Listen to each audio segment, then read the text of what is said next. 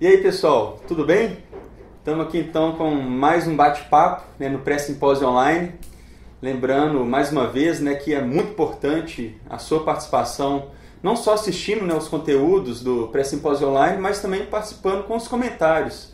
Né, aqui embaixo tem um espaço para comentários e não só falando se você gostou do vídeo ou não, mas mostrando também as suas experiências, as suas dificuldades na região que você trabalha, porque aí sim, né, professor, quando chegar lá em dezembro, no simpósio, no quarto simpósio brasileiro de biologia de conservação, a gente vai ter uma melhor compreensão de como que a conservação está acontecendo aqui no Brasil. Então é muito importante que você também deixe seus comentários, beleza? Não somente vendo os vídeos, mas os conteúdos estão bem bacanas também. E hoje, né, a gente vai conversar nesse nosso tema 2 do pré-simpósio online sobre se os profissionais da conservação estão sendo preparados para gestão de conflitos né, se lá na graduação ou na pós-graduação né, eles são preparados para as diversas gestões de conflitos que a gente tem aí trabalhando com a, com a biologia de conservação. E para isso, né, eu vim aqui conversar, bater um papo aqui com o professor Fernando Silveira, é professor aqui do Departamento de Botânica da Universidade Federal de Minas Gerais. Então, professor, muito obrigado aí né, por, por esse tempo né, dedicado aqui ao Pré-Simpósio Online. E se apresente sim, rapidamente, né, para o pessoal te conhecer, mostrar um pouco da sua trajetória, a gente já ir direto no assunto, que coisa séria, né? Beleza. Obrigado a você, Felipe, pela oportunidade de falar aí. Eu sou biólogo, igual você e a maior parte das pessoas que está uhum. participando do simpósio. Fiz o mestrado e doutorado aqui no FMG e desde 2012 eu sou professor aqui, trabalhando especialmente com ecologia de sementes, ecologia vegetal e também ecologia e conservação dos campos rupestres, né, que é um dos grandes focos do laboratório, é tentar gerar é, informações que possam servir de base para orientar políticas públicas e gestão do ambiente relacionado ao campo rupestre. Não, perfeito, professor Fernando. É, já vou pegar ali a sua última frase, né? Que você disse que um, um laboratório que ele trabalha com né, ecologia, com conservação ex situ, né, de sementes, justamente pensando em políticas públicas.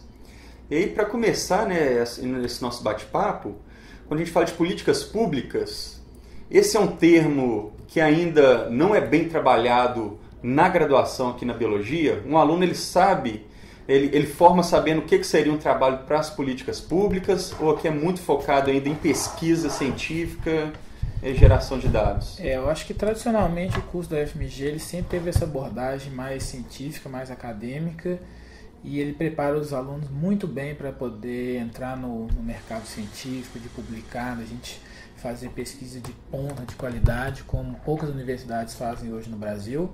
Mas infelizmente a gente ainda não tem uma abordagem ou uma vertente que leve o aluno, o egresso, a se dedicar a trabalhar no mercado de trabalho, essencialmente na área de conservação.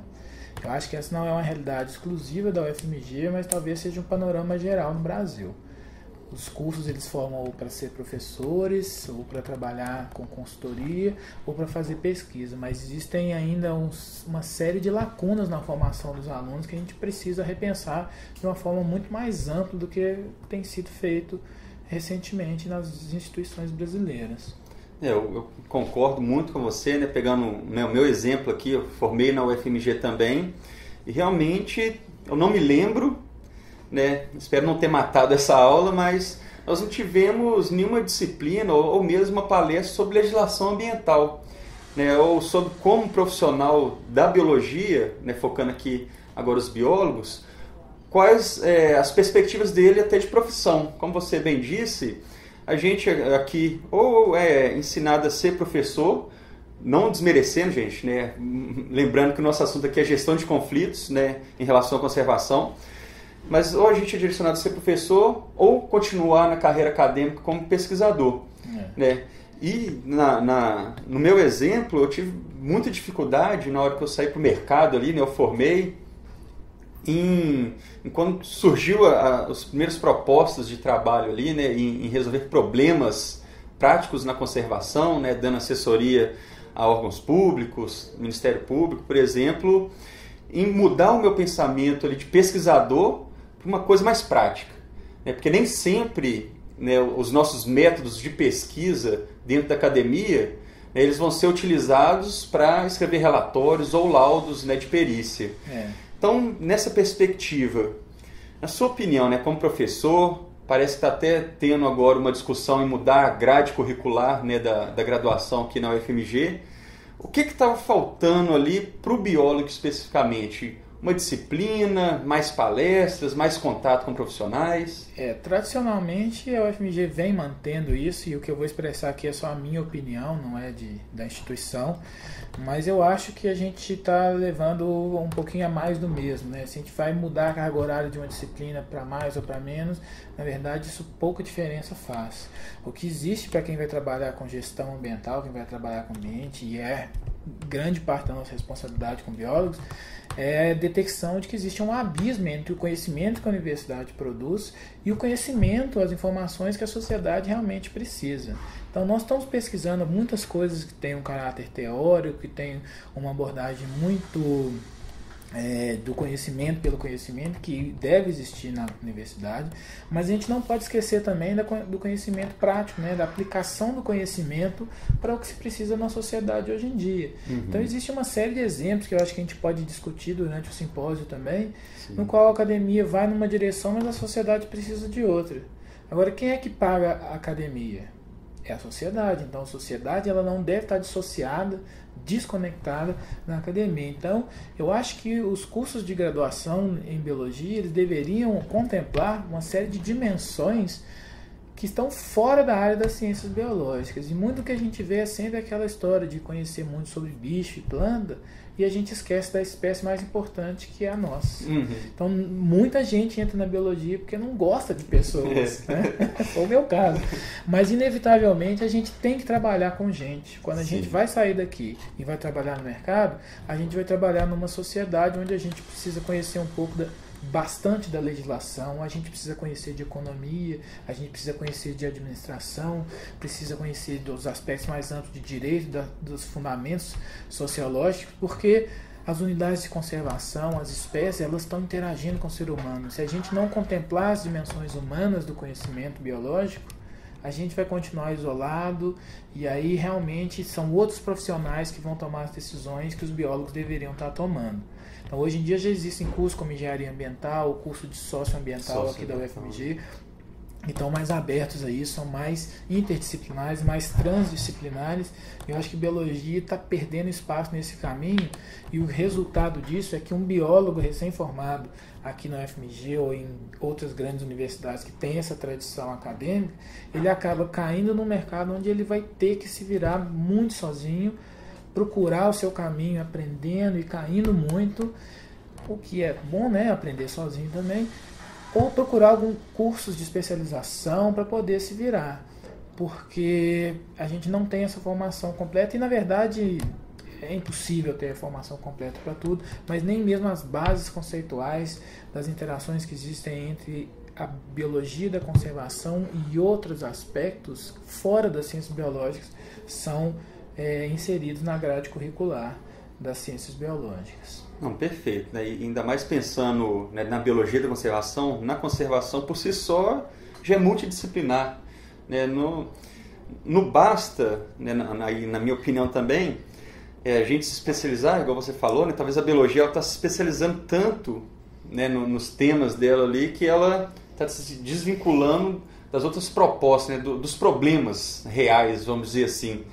Né? Às vezes a gente, na nossa cabeça, a gente quer ir a fundo numa pesquisa, mas que não, não é uma pesquisa que vai ali né, acrescentar muita coisa para a sociedade em termos de, de resolver problemas. É. É, o que, que eu quero dizer com isso? Porque, às vezes, muitas vezes, né, o pesquisador ele vai num ambiente, por exemplo, que a gente está próximo da Serra do Cipó, né, do Espinhaço, fazemos as nossas pesquisas lá de ecologia, de conservação, de botânica, e nem sequer a gente quer saber ali da comunidade que está morando ali há várias gerações, por exemplo, quais seriam né, os problemas que o biólogo poderia contribuir. É. Isso, como você falou, já está muito mais prático no curso de socioambiental, talvez de engenharia ambiental. Talvez está na hora né, da graduação da, na biologia, né, principalmente, começar a tentar isso né? Como que o biólogo conversa com a comunidade é. e não como conversa somente com a natureza ali, né? Exatamente. O biólogo ele tem a capacidade de ler o ambiente, entender o que está acontecendo, mas ele quando sai dessa abordagem muito biológica e vai para algo mais amplo, a gente fica perdido. Então essa é uma das dos origens desses conflitos socioambientais. Então existe uma visão romantizada aqui na biologia que a gente deve criar parque, tirar todo mundo que está lá hum. dentro, isolar, né? isolar e isso gera conflitos, né? E a gente precisa ter essa sensibilidade que tem pessoas ali, são pessoas igual a gente. Que elas podem né? contribuir para a conservação. na verdade ali, né? devem, é o que uhum. é o que é feito em alguns países. Né? Aqui no Brasil já tem algumas iniciativas também bem interessantes. Mas você pegar alguns parques, por exemplo, na Europa, você tem lá a integração das comunidades humanas junto com é, o ambiente, né? Manejo de fogo é algo muito pouco discutido aqui ainda. A gente não tem as informações. Esse é um grande exemplo de que a academia ainda não está fornecendo as bases para que a sociedade possa tomar decisões. Porque nós estamos preocupados em avaliar alguns aspectos que, do ponto de vista teórico, científico, são importantes, mas do ponto de vista aplicado, a gente nem sempre está conectado com essas necessidades da sociedade. Então, o que acontece, pelo menos como eu vejo, é que os biólogos eles ficam meio que desarmados na hora de poder argumentar. Você vai ter que lidar com políticos, você vai ter que eventualmente lidar com gestores, com os tomadores de de né? decisão. Então, se você não entende da lei, não adianta você ficar falando sobre isso. Você vai lidar com os empreendedores. As grandes empresas que têm atividades impactantes, elas vão fazer as suas medidas de acordo com a legislação. Se você não conhece a legislação, você não vai conseguir convencer as pessoas de que isso é importante ou que você está pensando lá tem algum valor. Isso. Então é exatamente isso, de tentar avaliar politicamente. Se você acha que quer mudar alguma coisa, gente, e essa oportunidade desse simpósio é para isso, não adianta ficar no blog, no seu canal do YouTube ou no seu Facebook reclamando das coisas. A gente tem que pôr a mão na massa e temos que interagir com políticos, com gestores, com advogados e tentar fazer uma construção coletiva. De outra maneira, vai ficar só uma reclamação inócua fica muito na teoria, né, é, professor? Não vai resolver. Então a gente precisa sair da academia e trazer a sociedade para dentro da universidade também. Perfeito. Escutar mais a sociedade, né? Às é. vezes a gente fica. É, nós estamos na academia, vamos resolver os problemas, vamos gerar os conteúdos, né? E tá, tá faltando um pouco dessa, dessa percepção. Quais são os, os problemas, né? Como você falou no início, que a sociedade precisa que a gente resolva, né? E a partir daí, talvez pensar nos projetos de pesquisa. Né? Isso é interessante, já fazendo um link com um tema passado que foi discutido, que é justamente isso.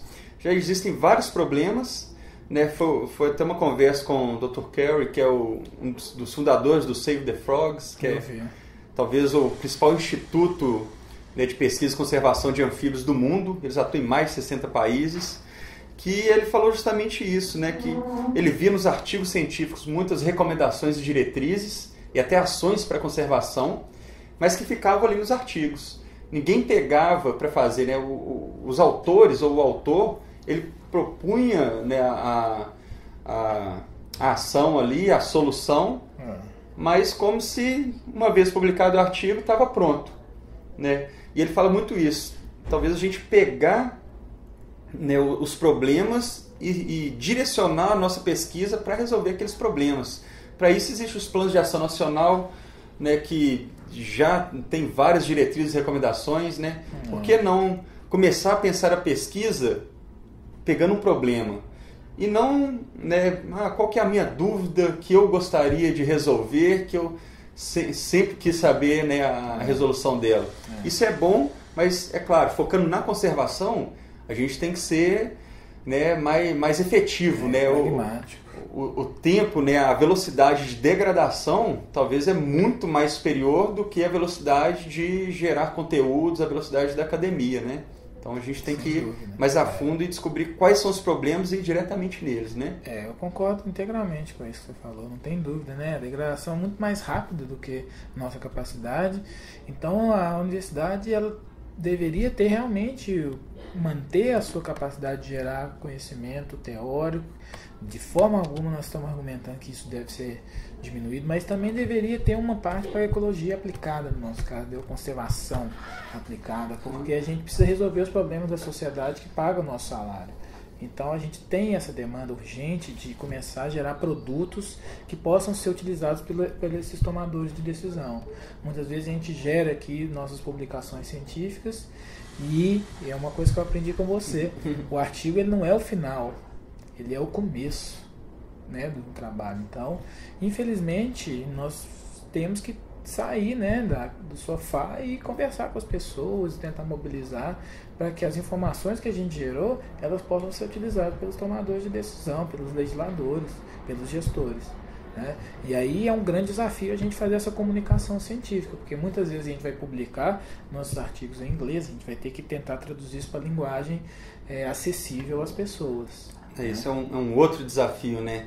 Saber comunicar com a sociedade o que, que a gente está fazendo como trabalho, né? Também um desafio que ainda não vejo incorporado nas, na graduação e nem mesmo na pós-graduação. Você falou, né? A gente está muito focando na graduação, que é claro, é a graduação que vai formar o profissional. É. Né? Quando você formou, você já, já é um profissional. Os congressos já vão te cobrar como profissional. Exatamente. Mesmo você estando desempregado ali, vai é um profissional. E a pós-graduação, qual que é a sua percepção? Na pós-graduação, é, as pessoas chegam mais preparados né, para resolver problemas, né, gestão de conflitos, ou também tem aquela barreira por não ter tido essa base na graduação, na pós-graduação tem a mesma dificuldade de saber resolver problemas práticos para a sociedade? Eu acho que esse é um problema que ele vai se perdurando durante o mestrado, doutorado, embora a gente tenha visto já algumas iniciativas né, de remar contra a maré. Então, na nossa ecologia, aqui no nosso programa de ecologia, conservação e manejo da vida silvestre, a gente tem visto cada vez mais é, disciplinas relacionadas à gestão, ao manejo da biodiversidade, alunos trabalhando cada vez mais com esse tema, mas certamente o foco grande ainda é a parte de ecologia, né, onde a gente está trabalhando simplesmente aspectos teóricos. E no final dos artigos, de vez em quando, a gente escreve: ah, esses dados são importantes para a conservação. Né? Mas como que vão ser utilizados para a conservação, que é o que a gente precisa uhum. fazer. Né? Eu acho que a pergunta agora é como utilizar os dados. Né? Exatamente. Né? Todo mundo fala que é importante os dados e não discordo de ninguém, uhum. mas se você não for lá e mostrar para um gestor ou para um deputado um uhum. vereador, uhum. né? Isso aí, infelizmente, não vai sair do papel realmente. E a gente vai continuar escrevendo, escrevendo, escrevendo e não vão atingir os objetivos. Então, eu acho que as pós-graduações também poderiam, de alguma maneira, sofrer uma reforma de forma que a gente pudesse ter essas, essas disciplinas de gestão de conflitos, por exemplo, que são uma parte social, né? E Sim. a biologia da conservação, como você falou, ela é transdisciplinar por definição seria ciência da conservação, porque é Isso. é muito mais amplo do que a biologia em si, né? Sim.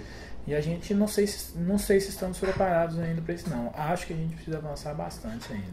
E o simpósio é uma boa oportunidade para isso, Sim. né, gente? Então, Sim. ouvir as experiências das pessoas, tentar construir algo coletivo, acho que vai ser um momento bem bacana e um, um ponto alto do simpósio. É, e, e, a ideia né, da gente fomentar esse pré-simpósio online, né, o, o, ano todo discutindo temas mensais, é justamente para não só perceber né, o, os desafios nas várias regiões do Brasil, mas para levar um pouco mais de capacitação ou uma conversa, né, que é um bate-papo que a gente está tendo aqui, que muitos né, que estão nos assistindo provavelmente têm essa mesma sensação e tentar movimentar algo aí, né?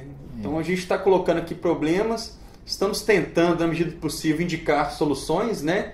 Como essa, por exemplo, o que poderia né, ser, ser indicado aqui para resolver um pouco dessa deficiência, vamos dizer assim, do profissional. Disciplinas específicas sobre legislação ambiental? Na minha visão, sim. Eu acho que um curso de biologia, né, somente que na UFMG, né, que nós temos um, um, muita força na questão da ecologia, da conservação, né, já sendo vários trabalhos, vários profissionais, pesquisadores aqui excelentes, né, não ter pelo menos uma disciplina de legislação ambiental né, já, já sai defasado, né? É, é nem que fosse uma optativa, pelo menos, para quem quiser seguir essa né? carreira, né? É, porque muitas vezes né, a própria legislação ela traz algumas lacunas, né, que quando chega lá nos tomadores de decisão, né, na, na questão da política pública, tem um embate. Ah, eu interpreto dessa forma, ah, eu interpreto dessa forma.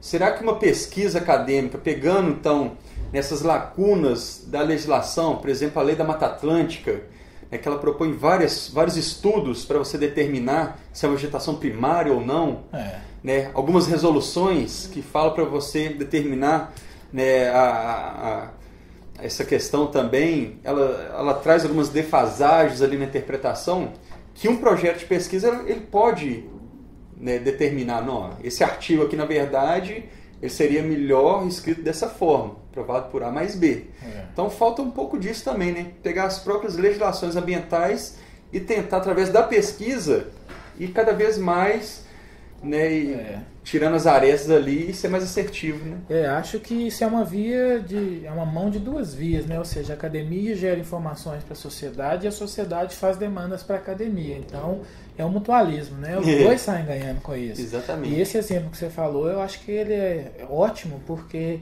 a gente que está aqui na academia, a gente entende muito bem que aplicar essa lei da Mata Atlântica, por exemplo, para os geossistemas ferruginosos não é uma forma correta de ser feita, porque são ambientes muito diferentes, tanto floristicamente como funcionalmente, e também nos serviços ecossistêmicos. Então, nos parece equivocado aplicar essa lei. Agora, se essa informação não chega para a academia, como é que a academia vai poder fornecer uma resposta para isso? Uhum. Então, acho que também é uma oportunidade da gente tentar dialogar e tentar ver num workshop uma possibilidade de rever a legislação, ou pelo menos fornecer as evidências isentas para que as outras pessoas possam então tomar as decisões. Acho que nosso papel na academia aqui é gerar os dados, né, sem estar tendenciados. Uhum. A evidência mostra isso. O que, que a gente faz com a evidência?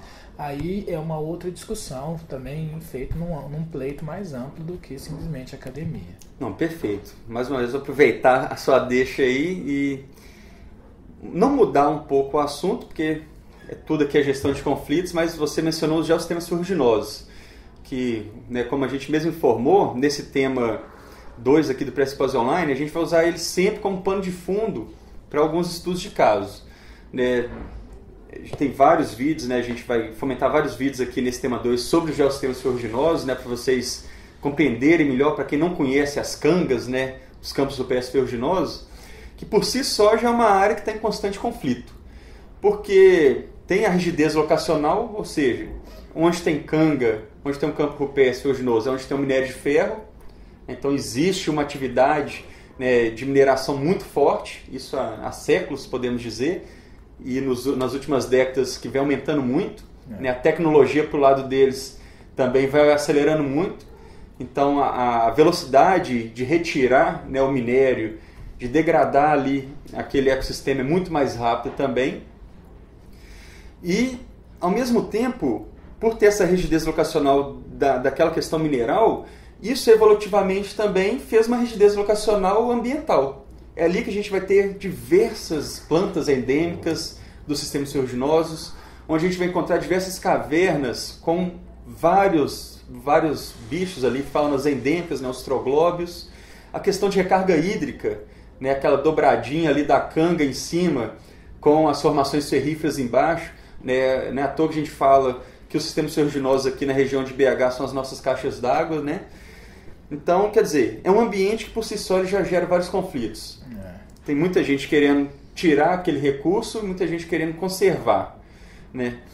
E aí, pensando nisso e voltando à questão da academia, é, como que você está visualizando o conhecimento em termos desses geossistemas aqui na academia? O que, que vem de conhecimento da academia? São conhecimentos de de taxonomia, de ecologia, são conhecimentos que levam nessa discussão de conservação. Como é que você vê né, essa, essa, essa, gestão de conflitos acadêmica aí nesses sistemas? É, eu, eu acho que esse exemplo das cangas, né, esses campos rupestres ferruginosos, são um exemplo ideal.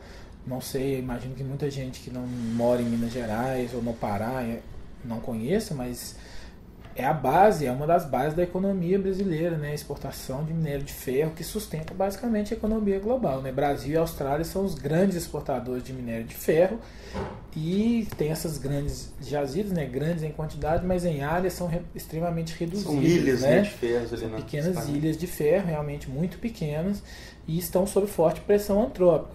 Então O que eu vejo é que de um lado a gente tem empresas que têm um interesse minerário, de outro pessoas que querem conservar, mas a gente não tem uma conversa muito entre essas pessoas. E aqui basicamente na academia a gente a gente fez um levantamento publicado ano passado, basicamente o que a gente sabe sobre os campos rupestres ferruginosos é a descrição de espécies novas, né, um ambiente bastante rico em espécies, espécies endêmicas, muitas delas ameaçadas, porque é um ambiente muito restritivo. Então, quem consegue sobreviver num ambiente bastante seco, bastante estressante hídrico e termicamente e também nutricionalmente, além dos metais pesados que está ali, só consegue viver nesse tipo de ambiente. Então você tem uma taxa de endemismo, ou seja, plantas que só ocorrem naquele local, extremamente elevado. E se você vai minerar essa área, realmente vai ter que tirar tudo. E essas plantas elas estão sob forte pressão de antrópica, né? Então as ameaçadas elas estão cada vez mais ameaçadas por ocorrerem em áreas pequenas sob forte intensidade. Do nosso ponto de vista aqui da academia, a gente consegue entender a importância da conservação, especialmente para a manutenção da diversidade genética e desses serviços ecossistêmicos, que é a água, né? A água, no meu ponto de vista, é mais importante uhum. do que qualquer outro recurso é. que a gente queira, né? Então a gente tem que ter essa, essa conversa, esse meio termo, porque por outro lado a gente tem que minerar também, porque se as pessoas querem comprar carro, querem comprar celular, querem comprar equipamento, ah, tem essa necessidade de mineração. Então, como conciliar essas duas demandas conflitivas? É isso que a gente tem que discutir e colocar de uma forma muito séria enquanto um projeto de nação, não olhando apenas os interesses particulares de pequenos setores da sociedade. Mas se a gente conseguir fazer isso, a gente vai avançar demais e vamos ter aí a conservação aliada ao crescimento econômico, que é, acho que talvez o desejo de grande parte da população. Né? É importante deixar claro que essas ações e estratégias de conservação, né, políticas de conservação, elas não são inimigas do crescimento econômico. Pelo contrário, né, elas fomentam o crescimento econômico. Né? E o exemplo disso Saiu um artigo recente agora sobre as onças pintadas, né, que o ecoturismo, o dinheiro que se ganha com o ecoturismo relacionado às onças pintadas é muito maior do que as perdas de pequenos novelhos que elas comem nas fazendas. Então compensa muito mais você manter uma onça pintada do que matá-la porque ela está comendo uma ou duas cabeças de boi, né? É, isso é, é fantástico. E, e, essa sua noção é bem legal. Né? ano passado a gente fez a Conferência Nacional de Biologia de Conservação, a gente entrevistou o ator Marcos Palmeira, que é um grande conservacionista. É um exemplo de profissional de conservação que não veio da academia. E ele tem essa percepção muito clara na cabeça dele. Né? Ele, ele deu um exemplo né, de, de pessoal que trabalha com agrofloresta, que às vezes o jacu vai lá pegar a, a, uma alface e tal, e o que, que o pessoal faz? Ah, vamos, vamos matar o jacu, por exemplo. E ele pensou, mas, mas o jacu ele pega ali 4%, 5%. Então, por que em vez de matar o jacu, você não planta os 4, 5% do jacu né, e mantém aquela interação? Uhum. Que é mais ou menos isso que você falou, né? É. A gente ter essa, essa capacidade de pensar em interações, né? E quando a gente fala em turismo, é, um, é, um, é uma boa ação para trazer recurso para a conservação. É. E a pessoa que às vezes realmente tem ali seu novilho, né? O seu bezerrinho ali sendo devorado ali por uma onça, Beleza, quanto custa um bezerro? E quanto ele pode gerar, por exemplo, para fazer esse tipo de ação na sua região com é, turismo? É. Será que né, no, não é para a gente pensar nessa relação? É. Mas aí voltando, professor Fernando, na questão dos geossistemas ferruginosos, né, aí já fazendo um convite também, né, no final de junho, aqui em Belo Horizonte, vai ter um workshop né, com a sua participação, organizado por um dos, dos organizadores aqui do simpósio também, que é o Instituto Prístino, né, que é um instituto bem tem uma, um conhecimento muito forte né, nos geossistemas ferruginosos, que a ideia é justamente a gente perceber e compreender como que os estudos em relação às plantas né, do, de, de, das cangas, dos campos superiores ferruginosos, eles estão acontecendo. Pelo lado da academia, do licenciamento ambiental, né, do, do órgão licenciador e principalmente se as legislações aplicadas, né, principalmente no licenciamento ambiental, elas corroboram, elas correspondem realmente àquele sistema. É. O que eu quero dizer com isso?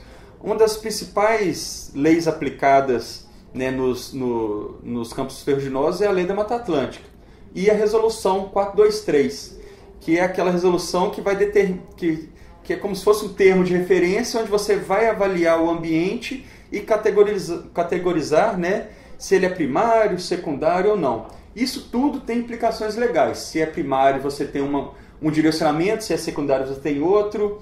Né? E por que, que eu estou falando isso? Porque essa resolução específica ela foi feita para campos de altitude e ela é aplicada para os campos rupestres, né, para os campos rupestres ferruginosos. Qual que é o perigo da gente aplicar uma legislação que foi pensada para outro ecossistema num ecossistema distinto? Ele pode parecer né, igual ali, parecido visualmente, mas que em termos de funcionalidade, de endemismo, ele é totalmente diferente. Qual que é o perigo disso? Qual que é o perigo de um biólogo, de um profissional de conservação não ter essa noção? É, o perigo disso é que ela inevitavelmente é uma política que não é baseada em evidência científica. Né? Então, o papel da academia é gerar essa evidência através de estudos rigorosos que são revisados por pares, são avaliados por outros cientistas e se eles resistem a esse escrutínio, gera-se uma publicação no qual a gente tem ali uma base para poder gerar uma política. Então, a decisão ela é política em outro nível, mas a evidência ela é científica. Então, o que é, a gente tem hoje em dia é que aplicar essa lei da Mata Atlântica para o campo rupestre, não existe nenhuma evidência científica de que isso esteja funcionando. E já existem muitos estudos, já décadas de estudos mostrando claras diferenças florísticas entre os campos de altitude e os campos rupestres. São vegetações diferentes do ponto de vista florístico, do ponto de vista funcional, então elas não devem ser confundidas. O que a gente pode estar cometendo o grande erro de aplicar uma lei uma vegetação num, num ambiente que essa lei não se aplica. Então, por exemplo, o argumento de usar a sucessão ecológica para determinar o status do licenciamento parece não funcionar no campo rupestre. Né? A gente não tem evidências para isso ainda, mas basicamente o que a gente chama de sucessão ecológica que acontece nessas florestas numa escala de alguns anos ou décadas, que um ambiente degradado rapidamente volta ao seu estágio pré-distúrbio, no campo rupestre essa é uma escala que demora aí centenas ou talvez milênios de anos. Então a gente não consegue claramente determinar estágios sucessionais numa vegetação de campo rupestre. Então isso não pode ser utilizado. Então para subsidiar o licenciamento em áreas de cangas. Uhum. Né? Não, perfeito, professor. Acho que né, foi um, um bate-papo aqui que a gente trouxe muita, é. né, muitos problemas de, de, gestão de conflitos né, em relação a, propriamente dentro da academia. Né, o que eu quero dizer com isso? Que eu acho que a gente ainda precisa muito melhorar o, o qual o profissional né, que a gente quer formar essa é uma discussão que eu tenho muito com vários professores aqui dentro do FMG.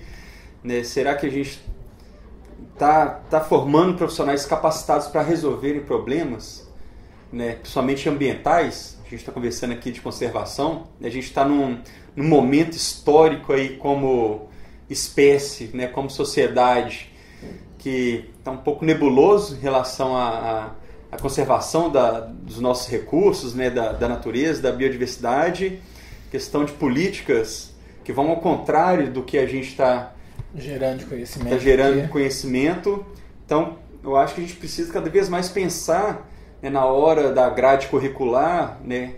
E aqui chamando um pouco a atenção que a UFMG está para mudar um pouco né, a grade curricular da biologia, como você disse, não vai ser aumentando ou diminuindo uma carga horária de uma disciplina que a gente vai mudar o perfil do profissional, mas sim acrescentando talvez alguns temas que são essenciais né, para um profissional saber lidar com conflitos, né, com geração é. de conflitos. Mas acho que só te interromper, eu acho que uma Sim. coisa importante também, assim, o aluno ele está insatisfeito com as disciplinas que ele está fazendo, e ele tem que correr atrás, a responsabilidade do aluno também procurar informação, vai fazer disciplina em outros institutos, vai lá para geologia, vai para política, ciências sociais, direito, vai estudar economia, administração, onde quer que seja. Você é livre para poder escolher o seu destino. Sim, eu acho que a gente está fazendo um ciclo, né? A biologia e outras disciplinas saíram da ciência natural ali, né? da história natural na década de 70, é.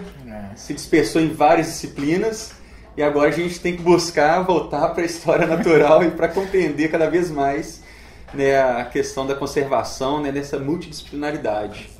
Né? Então, professor, eu agradeço mais uma vez, deixo aqui né, a gente vai se encontrar no workshop que vai breve. acontecer dia 26 e 27 de junho aqui em Belo Horizonte. A gente vai falar um pouco mais é, o que o Instituto Krishno ele está fomentando também essa discussão. né? A gente vai gerar vários conteúdos aqui no pré-simpósio online, tanto para o simpósio lá em dezembro, quanto para esse workshop, né? um evento dentro do evento online. Então, a gente está usando aí de recursos da internet para tentar discutir, conversar né? e, e- e- e compreender como que os diversos atores da sociedade estão percebendo a conservação. Escutar, né? Eu acho que escutar e conversar hoje em dia é cada vez mais necessário, né? É. Então, valeu demais, Falou, professor. valeu demais. Contamos Felipe. aí com a Eu sua agradeço, presença né? no workshop e lá em Legal dezembro também. demais. Beleza. Valeu, gente. Obrigado. Um abração, moçada.